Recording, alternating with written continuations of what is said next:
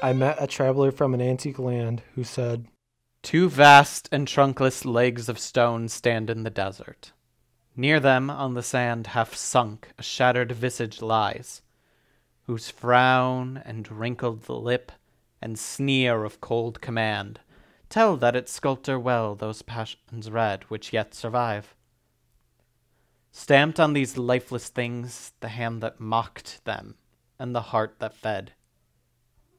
And on the pedestal these words appear My name is Ozymandias. My name is Ozymandias, King of Kings. Look on my works, ye mighty and despair.